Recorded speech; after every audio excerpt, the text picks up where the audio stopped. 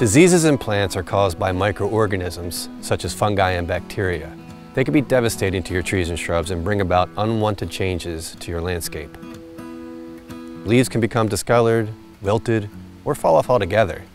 Left untreated, many diseases can cause a tree or shrub to expire long before expected.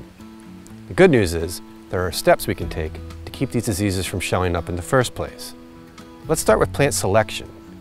When you make an addition to your landscape design, we can help you choose trees and shrubs that are not only well suited for your location, but also resistant to the diseases that occur in your area. We can then provide a care plan for soil management and proper pruning to help them maintain health and grow vigorously.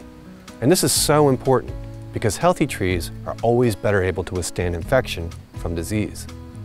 If one of your trees or shrubs does show disease symptoms, it is important to have a proper analysis of what's taking place.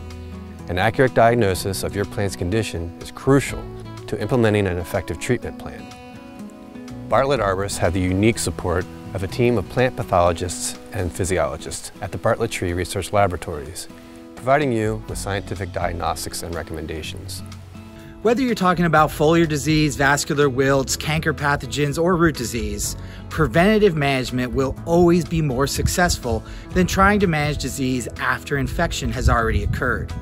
Some plant diseases are perennial problems and will require preemptive management every year, while others will only occur under certain weather conditions. Knowing your plant material and what diseases are likely will help you to develop the best management plan. So, when it comes to managing plant disease, prevention is key.